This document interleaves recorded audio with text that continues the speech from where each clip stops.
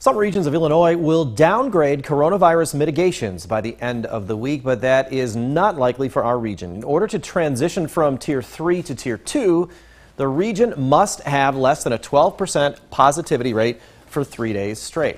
Hospital bed availability must exceed 20%, and declining COVID hospitalizations must be seen for seven out of the last 10 days. Health officials say Region 1 is a day short.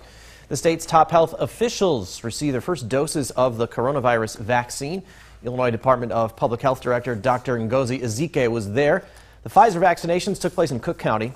Dr. Ezike says she wait, wanted to wait a few weeks to get the shot so healthcare workers could be first in line.